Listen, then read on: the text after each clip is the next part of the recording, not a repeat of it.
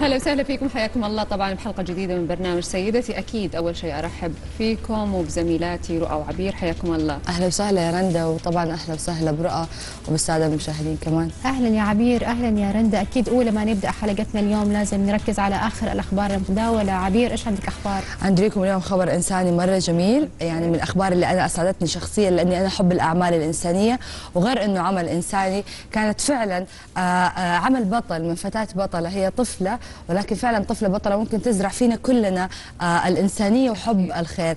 آه، قامت الطفلة البطلة ندى الغامدي بمشاركة في مبادرة مبادرة اسمها رحماء لكسوة الفقراء.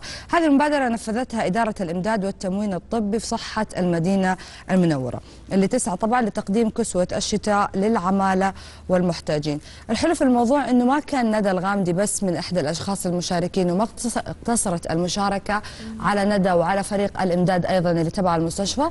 لا كمان تمت المشاركة من قبل كثير من الأشخاص آه، ذوي الهمم. وهذا شيء يفرحنا ويسعدنا كثير أنه هم يشاركوا في عمل اجتماعي وطبعا عمل إنساني. أكيد طبعا يا عبير ورندا. وإحنا عشان ناخذ الموضوع هذا بتفاصيل أكثر كمان لازم إنه ناخذ مداخلة هاتفية ونسأل عن بعض التفاصيل. ورحب معي عبر الهاتف بالأستاذة وداد العنزي مدير عام الشؤون الصحية والإمداد بصحة المدينة. أستاذة وداد. أيوه هلا حياك الله. أهلا بك. في البداية أحب أعرف عن مبادرة رحماء اللي أطلقتها إدارة الإمداد والتموين الطبي بصحة المدينة المنورة. كلمينا عنها شوي. طيب أول شيء طبعا نقول بسم الله الرحمن الرحيم. أشكركم على هذا التواصل آه، وابراز دور المبادرات. طبعا هذه المبادرات عبارة عن مبادرات آه، أطلقت في آه، يوم التطوع العالمي. تحت شعار تطوع صحة اثنين. هذه المبادرة طبعا أطلقت من بين خمس مبادرات لإدارة الإمداد. طبعا تميزت هي بمشاركة ذوي الهمم وكان أبرز ما فيها هي ندى عبد الله الغامدي. آه، المبادرة كان اسمها رحماء. مقترح المبادرة كان آه، الأستاذ عبد الله سعيد الغامدي مدير الشؤون الفنية في الإمداد. كان عدد المشاركين في المبادرة 17 شخص من إدارة الإمداد وستة أطفال تمت مشاركتهم مشاركة مباشرة وميدانية مع ذويهم. نفذت المبادرة في المدينة المنورة. طبعا سكن العمال لدى إدارة الإمداد والعاملين في محطات البنزين المجاورة. آه، الدعم كان خيري من الزملاء في إدارة الإمداد والتموين الطبي. هذا العمل كان تطوعي بدون مقابل مادي.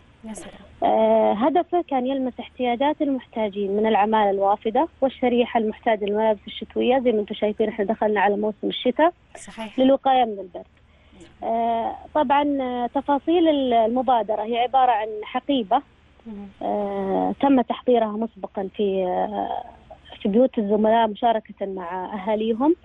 كانت الحقيبة عبارة عن جاكيت وقفاز وقبعة وجراب وشال بالإضافة إلى سلة فواكه. حلو.